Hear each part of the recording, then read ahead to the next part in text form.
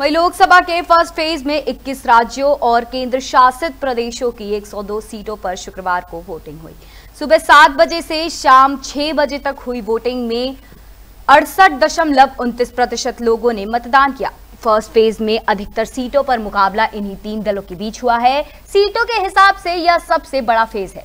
21 राज्यों में चार इक्कीस में से चार राज्यों में 80 प्रतिशत से ज़्यादा वोटिंग हुई है।